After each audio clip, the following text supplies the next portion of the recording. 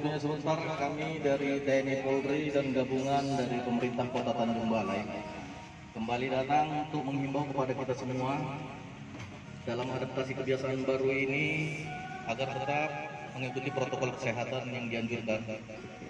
Tetap menggunakan masker pada saat keluar rumah. Jauhi kerumunan dan tetap jaga jarak. Tetap jaga jarak jaga kesehatan masing-masing, jangan sampai tertular atau menularkan virus COVID-19 di Kota Tanjung Balai. Mari kita sama-sama memutus rantai penyebaran COVID-19 di Kota Tanjung Balai.